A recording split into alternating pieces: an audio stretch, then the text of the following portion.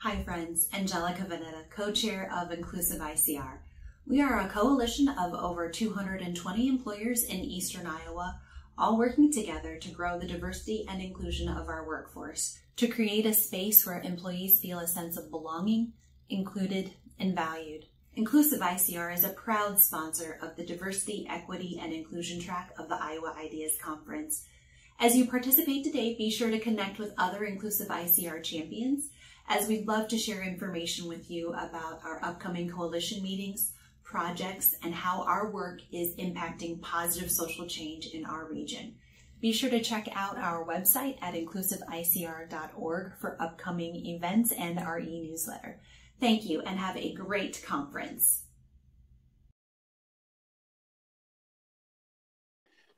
Good afternoon and welcome to Iowa Ideas 2021 as much as we'd like to be face to face with you.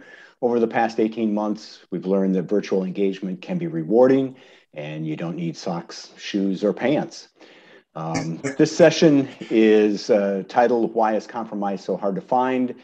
And you wouldn't believe how long it took to get agreement on that. I can't imagine I can't imagine that you'll have any questions for this panel, but in case you do, please submit them through the Whova app and we'll get to as many questions as time permits. This, sponsor, this session is being sponsored by Inclusive ICR Iowa. Here's a word from our sponsor.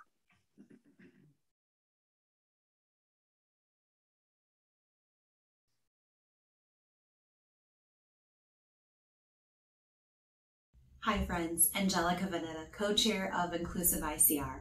We are a coalition of over 220 employers in Eastern Iowa, all working together to grow the diversity and inclusion of our workforce, to create a space where employees feel a sense of belonging, included, and valued. Inclusive ICR is a proud sponsor of the Diversity, Equity, and Inclusion track of the Iowa Ideas Conference. As you participate today, be sure to connect with other Inclusive ICR champions as we'd love to share information with you about our upcoming coalition meetings, projects, and how our work is impacting positive social change in our region. Be sure to check out our website at inclusiveicr.org for upcoming events and our e-newsletter. Thank you and have a great conference. And, and thank you to Inclusive ICR. Although it makes me feel old to say this, back at the turn of the century when I started covering the Iowa legislature, I would hear people say, better a half a loaf than nothing. I don't seem to hear that as much anymore. Some people, it seems, want the whole loaf uh, without leaving any anything for the other party. Uh, some people, it seems, are willing to accept nothing rather than get only a crumb. Everyone talks a good compromise game. Majorities and minorities talk about the need to compromise, about their willingness to reach across the political aisle to get things done. But behind the rhetoric, current attitudes toward compromise may have been best summed up in a recent post at The Onion, uh, the satire news site, which attributed to a member of Congress the philosophy that the key to compromise is demanding that you get everything you want while giving up nothing in return. True or false? We'll find out as we talk about comp why compromise is so hard to find, or is it right in front of us if only we look for it? And to help us answer that question, we have with us retired U.S. Congressman Dave Loebsack of Mount Vernon, former Speaker of the Iowa House Linda Upmeyer of Clear Lake, Steve Sovern, an attorney, mediator, and former legislator from Cedar Rapids, and former Iowa Senate President, former county supervisor, and retired attorney Andy McKean of Anamosa. Dave, you, you, spent 14 years in the Iowa in, in the U.S. House, in, in, the majority and in the minority. How accurate is the Onion's definition of compromise? Uh, well, thanks for having me on first, James, and thanks to all the sponsors. Uh, it's a great conference. I really appreciate it. Um, uh, you know, I really like The Onion uh, because I think The Onion often is right on the mark in terms of uh, uh, its satire, but it's often quite true as well. And I recommend The Onion to anybody who wants to, to read that sort of thing and get a kick out of it. Um, it is a lot of fun. Um, look, whenever you go into some kind of a negotiation, you don't want to give anything up. I mean, that's just normal human behavior. You think you have a great idea, and the last thing you want to do is give anything up. And I think uh, other folks uh, on this call or on this video um, who've been in office pro- probably would agree with that to begin with.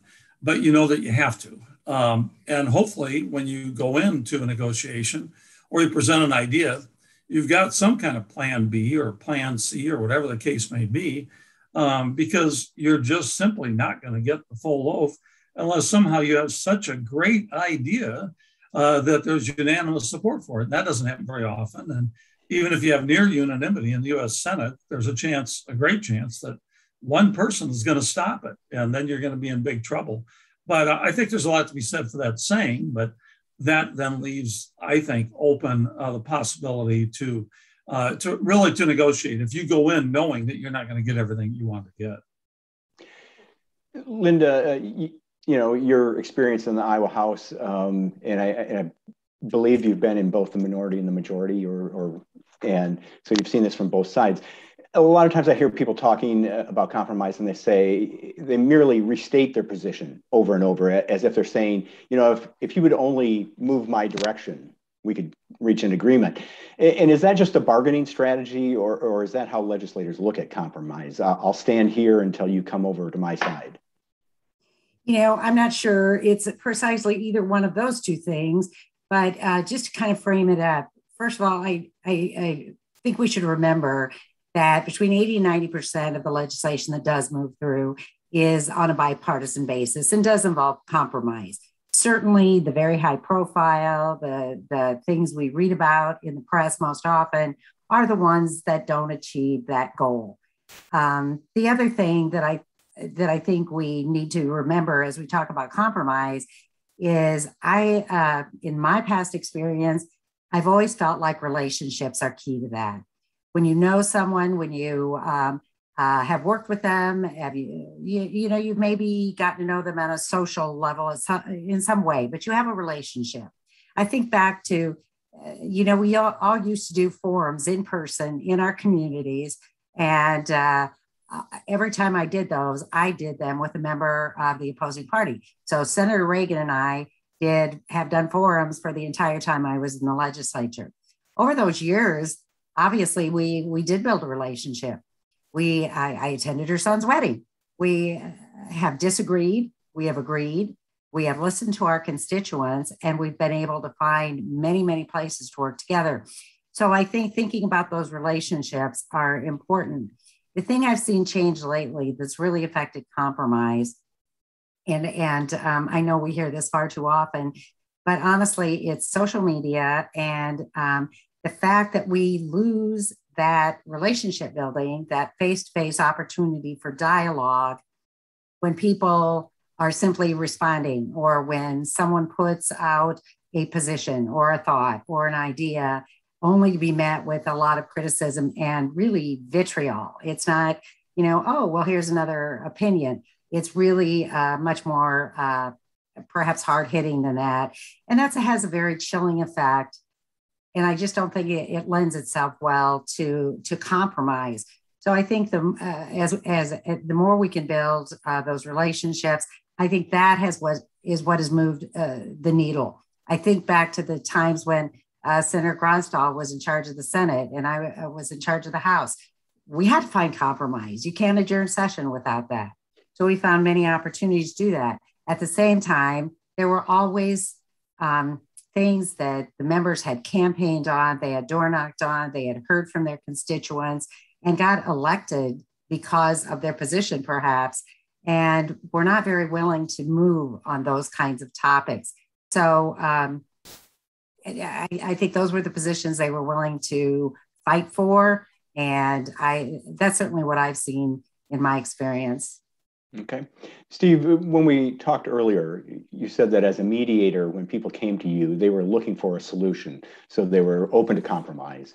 And, is that the key that the parties have to be open to compromise um, before they can compromise? They have to accept that they're not going to get everything they want and, and they're going to have to meet somewhere in the middle. Maybe. and, and uh, it's a great question. Let me first say, uh, having listened to David and listened to Linda and recognizing that whether I like it or not, I bring a historical perspective to this room. But the history includes, uh, Linda, your dad. Yes. Uh, I went into the Senate uh, uh, when Del Stromer was a power in the House. I, I like the man. Uh, we worked together in education funding.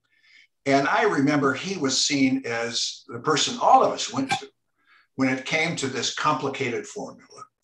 Uh, and there were other, that's when Bob Ray was governor, Art Neu was lieutenant governor. Those were the halcyon days of legislative cooperation. Now, with regard to your question, too, uh, James, um, you know, people don't come into a room wanting compromise. As a matter of fact, uh, it's kind of a nasty word sometimes because it connotes uh, giving up principles. It connotes concessions. Uh, and in this day and age, of course, it's a real challenge. But further, I would say that there are in the room, there are there are two different considerations when it comes to working together. Uh, in the room, it's about the skills uh, and the interests. And that's what people, you hope people are starting to talk about their interests, what their shared interests are, and what have you. But the other, uh, and I think uh, a force that has grown in strength uh, astronomically in the last 50, 40 years of politics, is the pressures from outside that prevent the collaboration inside. And that simply said is that um, uh, uh, I believe that uh, unwittingly or maybe wittingly, we have empowered those forces that fight against compromise they're set on uh, interest groups that have one particular crowbar they want to stick into the forum of democracy and have their way.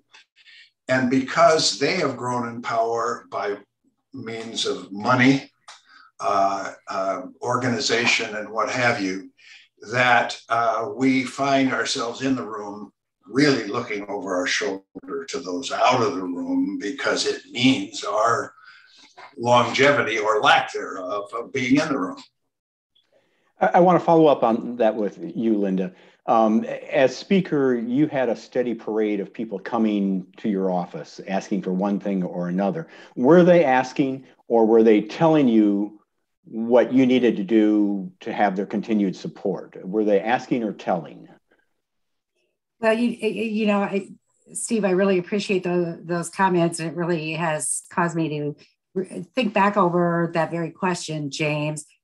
Uh, it, nine times out of 10, they were asking. It, you know, really, when people come into the office, they and, and they have a conversation with the speaker, the leadership, the committee chairs, those, those folks, they really want to plead their case. They want you to understand their issue. So much of the time, I was listening to that, seeing uh, if that sort of jived with where the caucus was, what people were talking about, the, the committee was talking about. Um, uh, and, it, and if it did not, I was very quick to let them know that that, that was certainly not what people were hearing at home. Uh, because that's what we always go back to is what people are hearing at home. What, what are your neighbors telling you? What are the people that sent you here to represent them telling you? So sometimes that was a real conflict. Sometimes there was a place for compromise. Uh, I, I, I can tell you during my time as speaker and even as leader, um, there were very, very few uh, people that came in with with sort of demands like uh, sort of the uh, not not the term you use necessarily, but sort of the threat of withholding support if, in fact, um, you didn't do exactly what they wanted you to do.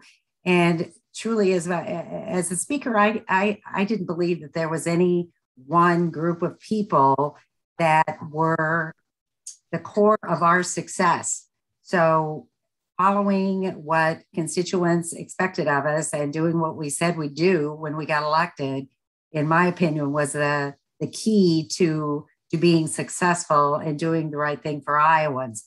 So I, I didn't experience that. I'm not I'm not saying that doesn't exist in, in some places, but I, I really didn't experience much of that. Certainly, I knew what folks were hoping for And sometimes that coincided with what Iowans uh, were hoping for, but certainly not always. And and and so often those things did not get accomplished that um, that someone might be wishing for. But I really, I, I really felt like listening was uh, the key to compromise. There were opportunities to compromise as we as we work through some of those issues.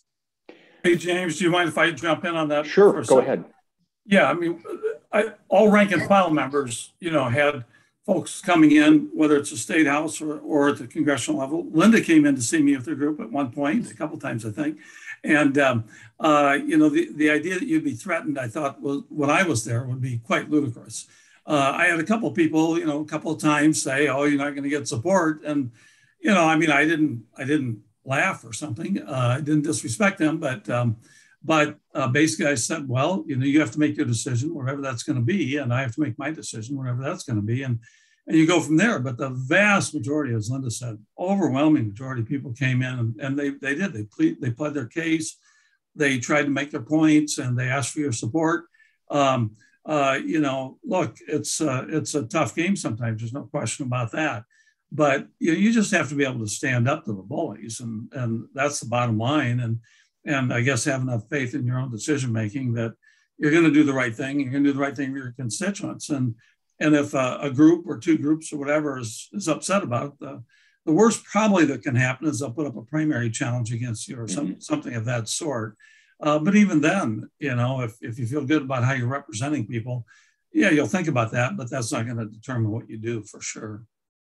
So when voters look at Congress or look at the legislature and say they're not willing to compromise, is, is the the unwillingness to compromise coming from the base of the party, or is it coming from the top of the party?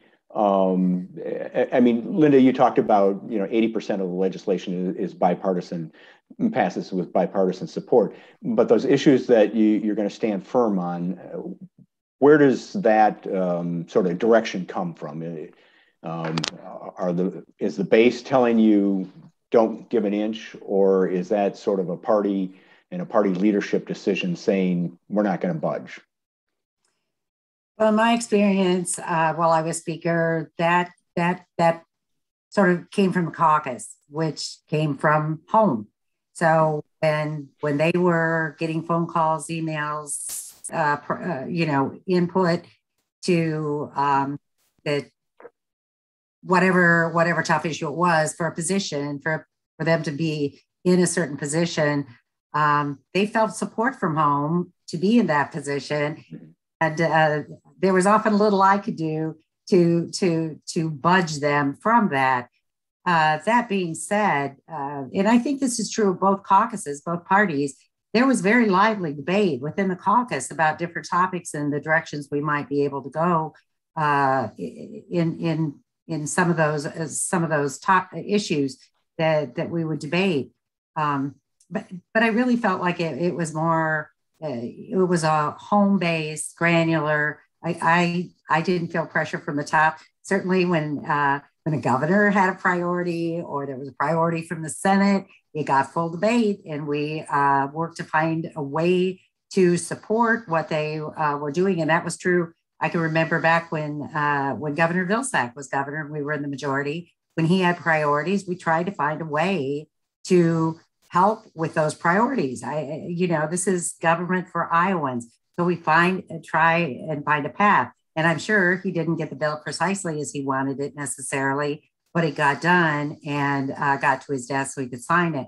So I, uh, so I, I I don't I don't nec- I don't feel like it comes from the top down. I really feel like the at the grassroots level, I was a, a state of, of real grassroots. And I think what what people here at home really drives what they do when they when they show up in Des Moines. Can I jump in, James? Yeah, go uh, ahead, Steve. Because I, I really appreciate you touched on some important things, Linda. And it may not from, be from the top down, but too often it's from the rotunda in.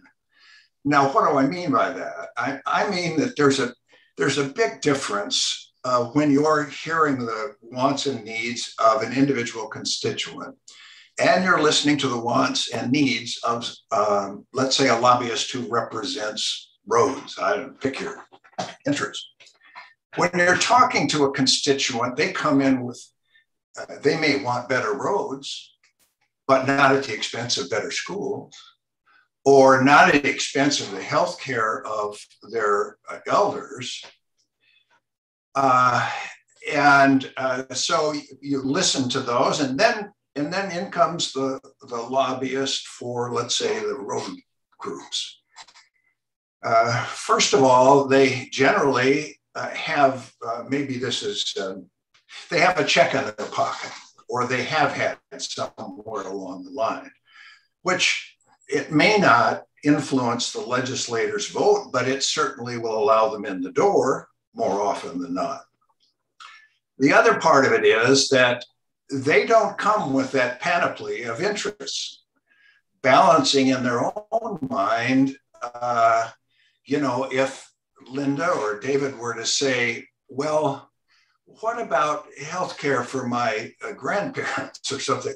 And, and, the person who is representing roads, well, they've got to take care of themselves, but you know, I'm here to represent roads, and that's that's really the key issue, and that's really why we support you because uh, roads are more important uh, than anything for us. So uh, that makes the voice more powerful, uh, unfortunately, and one at least that you have to fight against to be have the earphones on for for the citizens as opposed to the pressure groups.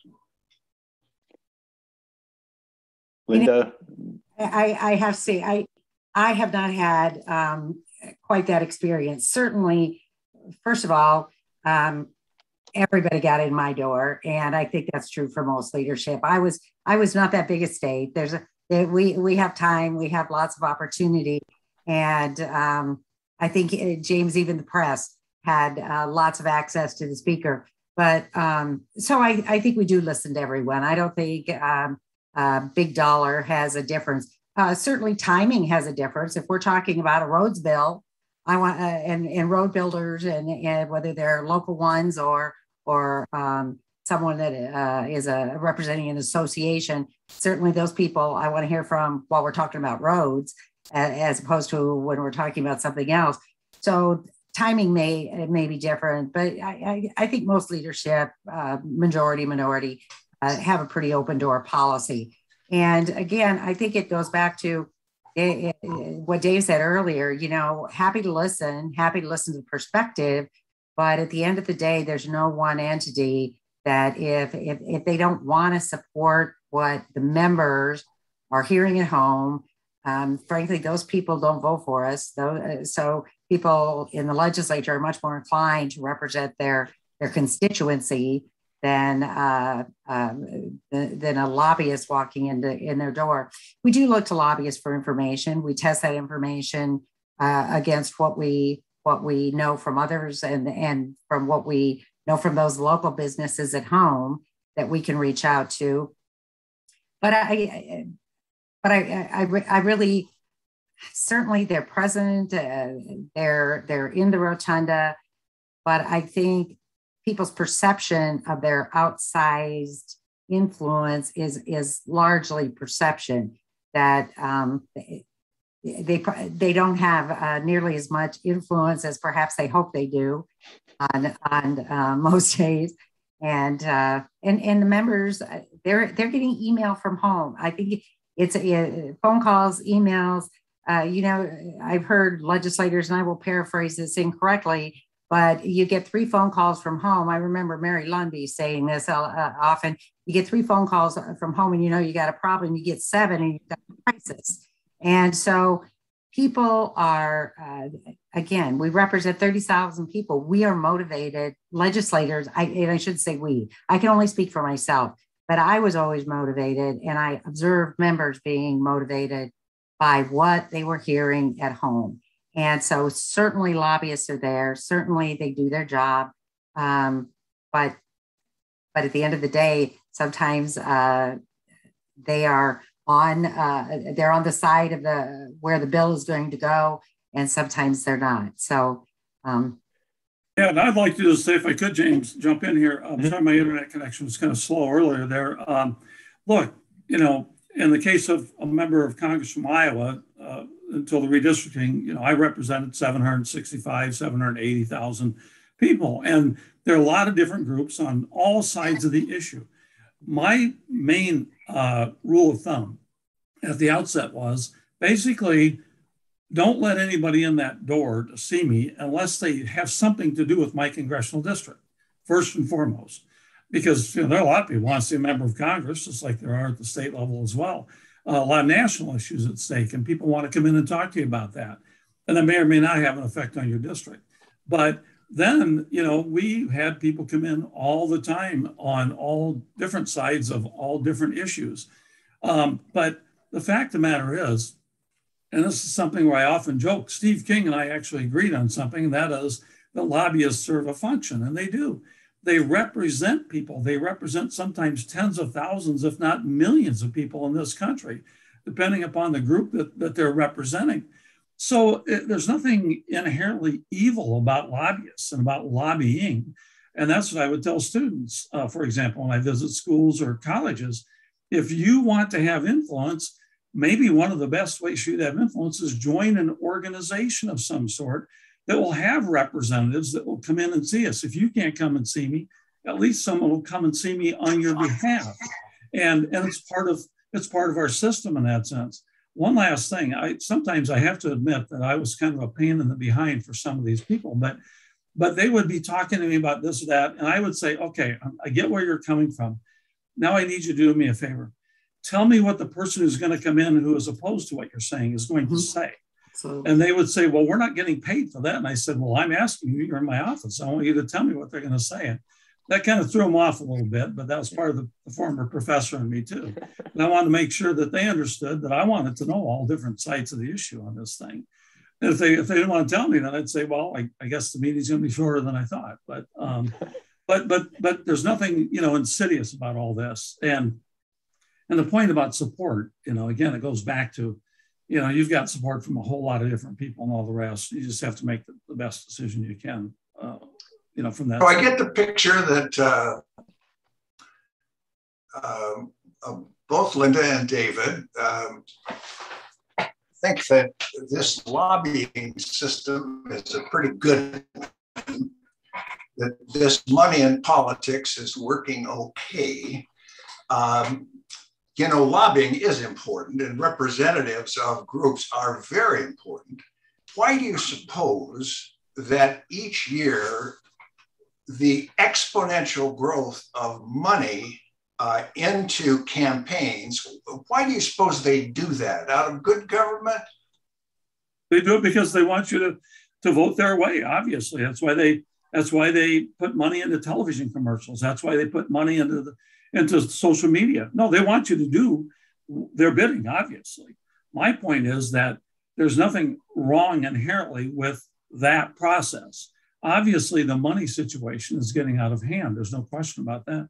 But keep in mind, too, they can only contribute so much money to your campaign. It's not the money necessarily going to you and your campaign that matters, Steve. It's the money out there in the larger society. When now we're talking about Medicare, whether government should negotiate with drug companies for Medicare. And there's a ton of money out there on TV right now on both sides of that issue, as you can see. I think that's one of the big concerns more than anything else. So if, if you were to be funded primarily by oil interests, there shouldn't be any concern about your vote on climate, for instance. Oh, I would only guess that if you're supported by big oil, you're probably from Texas or Oklahoma. You're not, you know, you're not from Iowa where we have ethanol concerns and those kinds of things. I'd, kind of wonder about you if you if you're from Iowa and you got a lot of, a lot of money from big oil. I probably would wonder about that. Actually, I ran against one uh, in 1980. Exactly. Dave, I want to follow up on, on something that Linda said. She talked about the lively debate within the caucus, and and I'm wondering. Sometimes we look at you know issues and we say, well, the, the Democrats won't move a bit on this, or the Republicans refuse to compromise. But do those respective positions sometimes uh, represent um, a lot of compromise within the Democratic caucus or within the Republican caucus to get to get you know from where you know 200 and some members of uh, Congress or or uh, you know a similar um, you know a majority in the Iowa House, they have to each compromise a little bit to get to what becomes the caucus position. Yeah, I can't speak for the Republican Party, and and I have been out now since January 3rd. Uh, but uh, you know, observing what I'm observing right now, uh, and I do still talk to friends in the U.S. House. Uh, it's it's a difficult situation right now because you know basically both sides, the so-called moderates versus so-called progressives, they think they have the right idea about how to, how to move this this country in the right direction. And complicating that is they they both think they have the right idea as to how to make sure that Democrats maintain their majority in the U.S. House of Representatives that's a big part of what's going into this debate right now. Uh, because I think that the so-called moderates, they believe that the smaller this Build Back America or Build America Better, whatever Build Back Better package is, the, the less likely it is they can be attacked as being big government, big spenders, and all the rest. Whereas the progressives, I think for the most part, believe that the bigger it is, the better because you know, they might not be in the majority. Democrats might not be in the majority for much longer. They want to make sure that they get programs you know, new programs in that might last at least three to five years uh, and, and kind of get a foothold in that sense. So they're coming at it from kind of different perspectives. I think that within the Democratic caucus right now, I think almost everyone in that caucus agrees that that infrastructure bill, the bipartisan bill, should be passed. I think almost everyone agrees that, that some kind of Build Back Better program needs to be passed. It is now a question of uh, which they didn't get, which they didn't actually figure out before this all went public. And that's where the rub is sort of which programs do they want to see in it and for how long. And so that's really where the rub is at the moment. But generally speaking, you try to do the best you can to have a united front before you bring anything to the other side to try to compromise if you really need it. Uh, but that doesn't always happen, obviously. And right now, I think the mess that the Democrats find themselves in in the U.S. House is because uh, there are these different factions, and they didn't they didn't do that before they brought this to the to the public's view, if you will. Is it easier for a party to compromise when they haven't already compromised to get to the starting point? Um, I mean, when we have one party control, as we do now, both at the state and the federal level, do you think it, it's easier um, you, you, know, you, you uh, duke it out within the caucus to, to get to a position, and are you less likely to then compromise with the other party? Well, I think that's probably true. I mean, if you have enough votes to get it through, then you're not you're less likely, uh, mm-hmm. whether you're a Democrat or Republican, yeah. uh, in control. And Linda can correct me if I'm wrong, but you're less likely to negotiate very significantly with the other side if you think you can get it done on your own. And that's where, if you think that's the case going in, then you darn well better have your your ducks lined up before you, you take this thing to a vote. Otherwise, you're going to find yourself in big trouble. And Linda, you may want to talk about. Well, and I think you're right, Dave. That's certainly one aspect of it. The other aspect of that is that once the caucus has come together and had that um, that you know compromise uh, done in the within the caucus and with with each other, then you move one piece and you start getting people kind of going in a different direction. And uh, so just mechanically, compromises become more difficult. The thing I would say, though, is that oftentimes, and this goes back to those relationships, oftentimes when when um, you do have good relationships, which I will will tell you, I, we used to, and I think Steve, you alluded to that, uh, that, the, you know, there were strong relationships in the legislature where, where even uh, members would bring even ideas that, you know, somebody in, uh, in the other party had for a bill and bring those and say, why don't we include this? And why don't we include that? And, and, and so the compromises would come from a lot of different places. Um, I think it's really gotten harder to do that with with uh, I think much much much harder to have relationships with COVID and and all of that. I think people mm-hmm. elections people don't get to know new people, and so you don't have that. But but I'm kind of digressing from the question at hand, so I apologize for that. No problem. Um, so if if the parties aren't willing to compromise, what effect does that have on the legislative body? If, if you know we both uh, you know, go to our respective camps and say, that's it. We're, we're not coming out. Um, and what effect does that have on the legislative body and process? And, and what effect does it have on voters if the voters are out there and saying, like, gridlock. Steve, you're, you're shaking, you're, you're nodding your head. Uh, well, you're, you're describing the circumstance. And, and, um, I think that's the, the real challenge today. Uh, uh, voters are not seeing a process that's responsive uh, to individual citizens. They see a process that uh, has gotten out of their hands, if you will. That uh, they see that that, uh, for instance, now the Republicans are in control in Iowa, and they have marched lockstep in a number of areas that really are, I think, uh, questionable in terms of majority interest. Now, uh, for instance, uh, collective bargaining has been uh, pretty much uh, uh, retired. Uh, gun interests are advanced significantly. and people who are witnessing this, and I think this is your question, feel more and more that yeah, particularly under one party control, that that uh, their voice isn't heard and they don't have much of a chance. I'm one who looks at this in, in the way that there's much reform that needs to happen in order for people to feel they're a part of it and people feel that their government is responsive to them and that they can reach compromise. Ending gerrymandering nationally is, of course, one of them. Now, fortunately, Iowa has a model law, but the Republicans have already denied one, they may deny the second, they may take it over. Uh, we have to allow more voting instead of restricting voting. One person, one vote assumes that, that everybody has a chance. We have to change the way elections are funded. We have to have things like automatic voter registration. We have to, uh, for instance, from my view, uh, make it illegal for lobbyists to make con- uh, to uh, to make contributions, close the revolving door that sends members of Congress right into the lobbying business. And that's true in the legislature as well. So I think that's the only way we get back the confidence of citizens that what they are concerned about is, is really uh, reflected in representative government. That makes me think. Uh, I've heard um, members of Congress say this, and it's, it's, probably true at the legislative level as well, that sort of uh, making the argument that what you see on the news is, is, not representative of what's going on in Congress, of what's going on in the legislature. That Dave Loebsack worked with Republicans, that Linda Upmeyer worked with Senator Ragan and, and Democrats.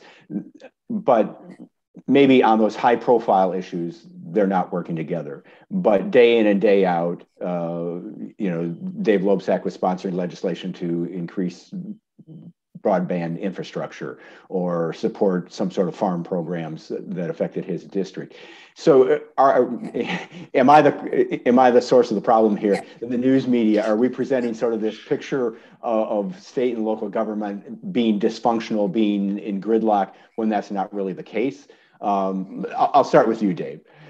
Well, I, I tried not to be too nasty while I was in Congress, to you, you know, James. I appreciate that. Now all bets are off. It is all your fault. But no, look, I mean, the old the old saying is, you know, if it bleeds, it leads. Uh, you know, media tend to uh, gravitate towards conflict, uh, and and so you know, when there's a fight, that's that's what gets covered. And as you said, you know, when we work together on things, we we fight like heck to try to get it known that we do but you folks in the, the Gazette and the Register, uh, Iowa outlets were fairly good. You know, if if if um, if we had a bipartisan letter, for example, on biofuels, you know that that got covered. Um, we would push it hard, as you know. Please write about this because it's actually bipartisan and it's actually good for the state of Iowa and what have you. Um, but it is hard to break through, uh, especially now. Um, and and again, uh, not to be terribly, terribly partisan about this, but especially in the age of Donald Trump, when you know conflict to the max was every single day, and that was what the media wanted to pay close attention to. breaking through all of that was so very difficult the last four years that I was in Congress. Um, but we tried the best we could. Sometimes we got through with that, sometimes we didn't.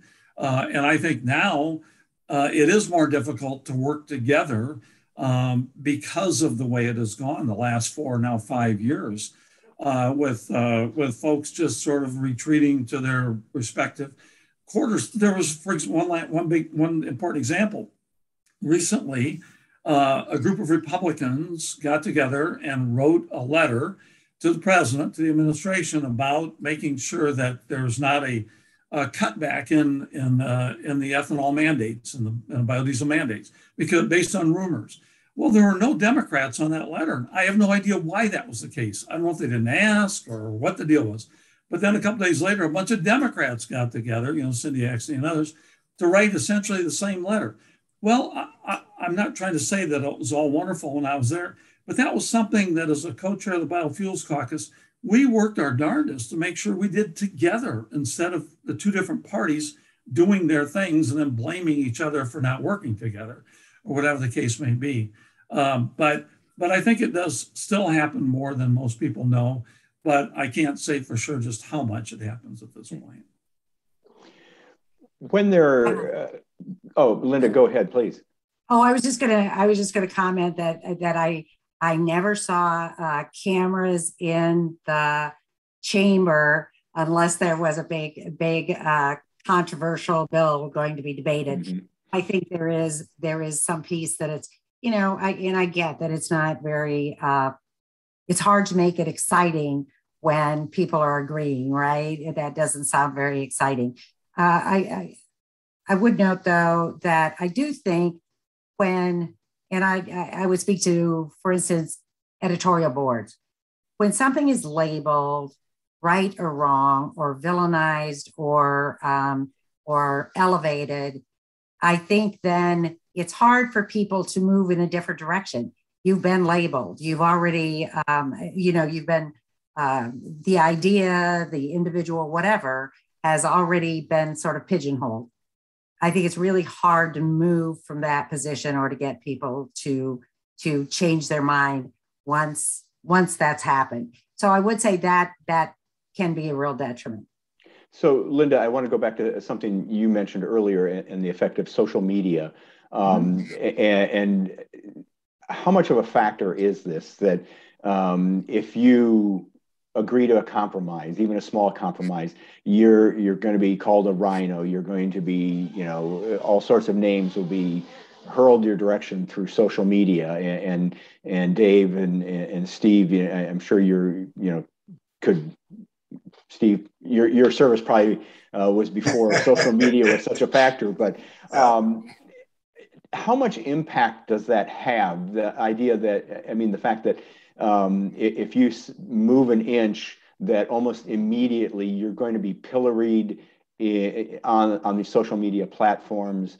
Um, and while we while we realize that social media isn't the real world, um, it, it, has an impact. So, I mean, how much does that scare a legislator that uh, if they take an action there's going to be an onslaught of, of uh, basically political name calling. Well, I think it's certainly intimidating uh, when you first experience it for sure. And uh, so I, I, I, suspect it uh, does have some effect, but I think it goes the other way too when when you offer offer something that you believe is a compromise and you actually are are criticized from both directions it's it's too much. It's you know you're kind of in a in a no win position. Uh, I so I rarely look at any of that uh, beyond my personal things I do, but uh, because I think you do get it from both ways, and it's a I think they people figure out quickly if they're going to pay any attention to it it's going to be often a lose lose. So, so I think it's difficult for for the people to navigate that. So you may you're either one of the people that doesn't use it a whole lot, or you're one of the people that uses it fairly regularly and welcomes sort of the onslaught. And mm-hmm. you're energized by that, or you get information from it, whatever. Uh, whatever the case may be. But um, but but you but you get it from both sides. It's not just one. Dave, I, I if you get it from both sides, you're probably doing the right thing. That's uh, right. That's, that's, what a lot of people told me when I first went into office. And and look, you know, my district changed dramatically, and I'm going to talk about that tonight uh, in Iowa City at a, an event.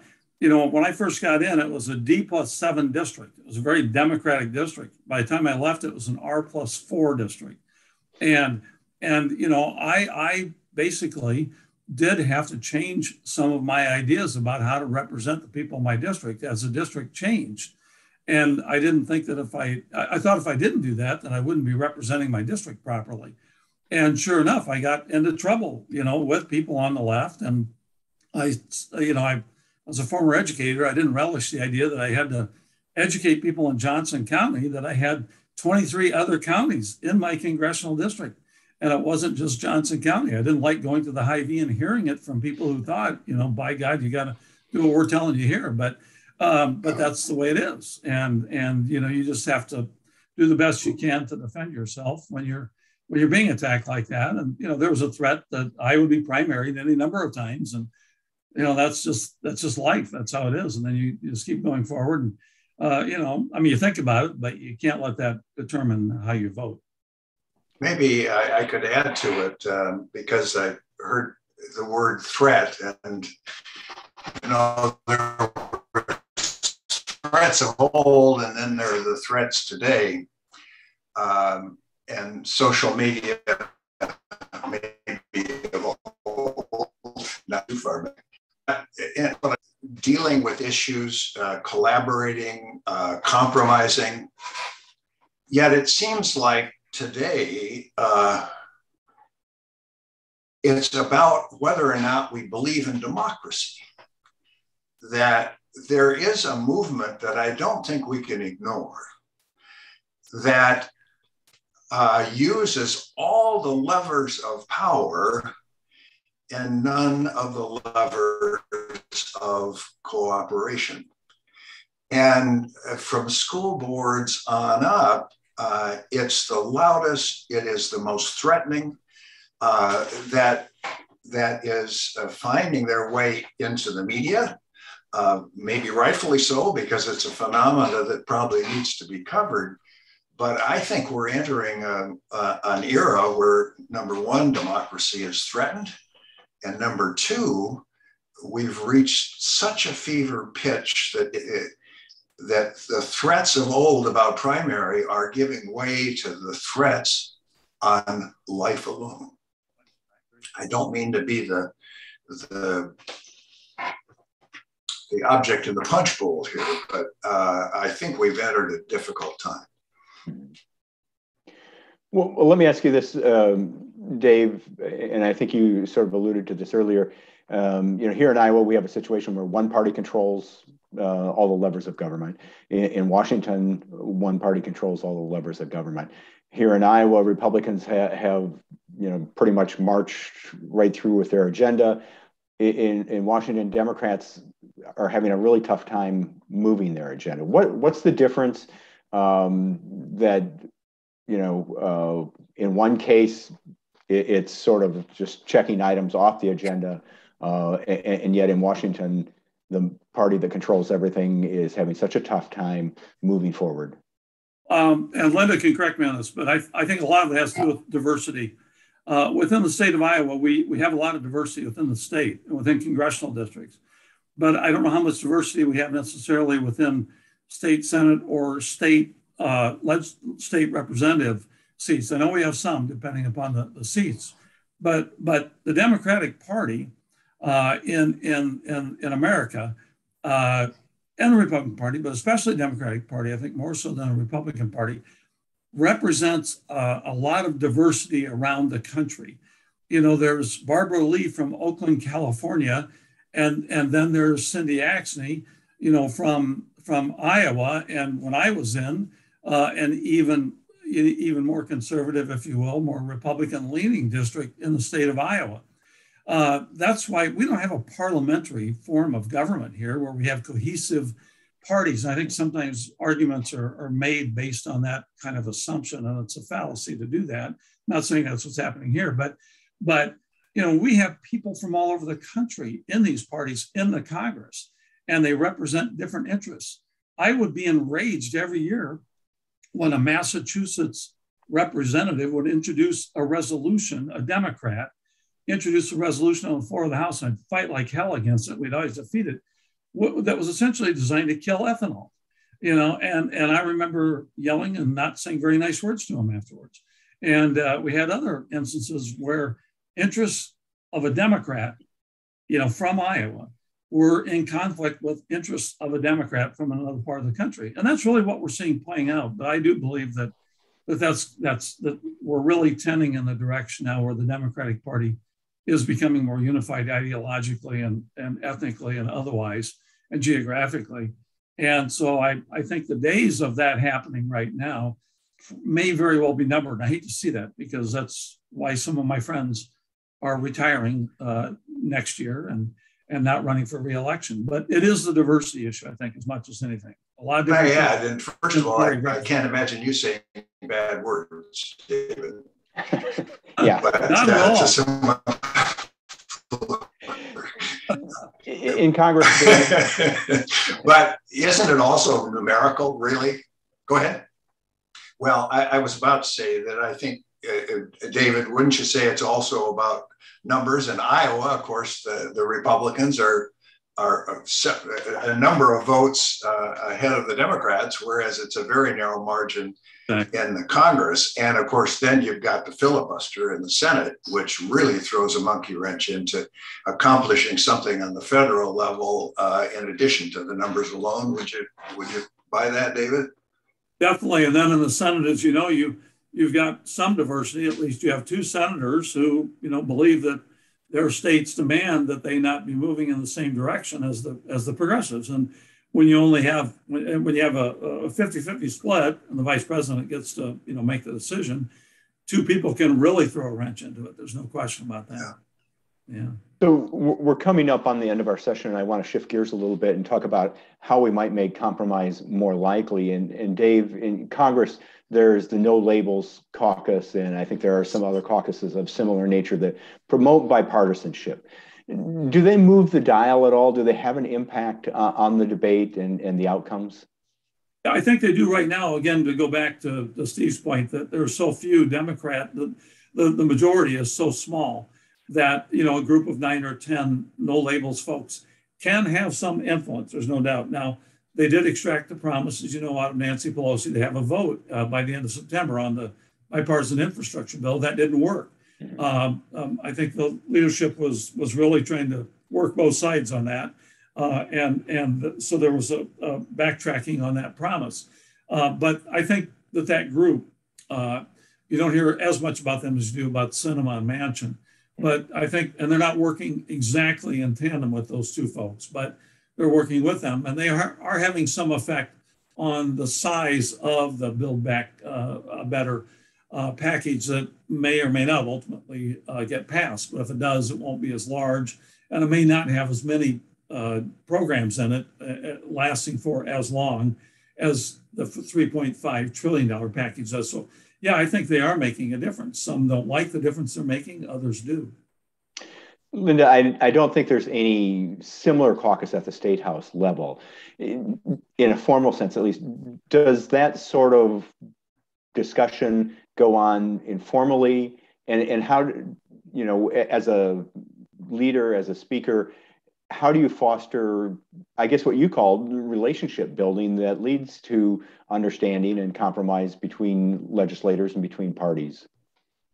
Well, I think there are certainly uh, probably we don't necessarily refer to them as caucuses, but I'm certainly aware during my time that there were sort of coalitions or factions of people that uh, surrounding an issue or um, um, uh, an approach, perhaps, to something that that you know as soon as that number swells to something that can jeopardize passing a bill, of course they have influence so if it's if for the Iowa House, if it's nine members, or 10 members, that makes a difference on whether or not a bill is going to pass.